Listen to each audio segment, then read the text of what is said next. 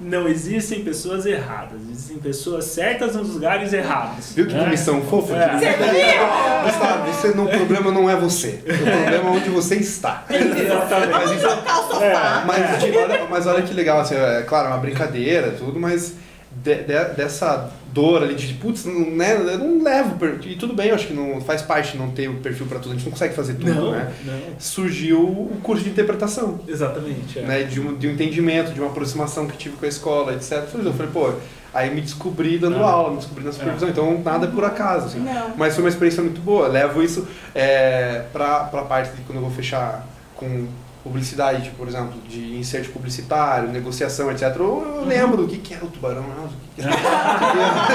então eu lembro. o. Eu lembro dos treinamentos comerciais, então isso agrega. assim. Então por isso que eu gosto de transitar em áreas.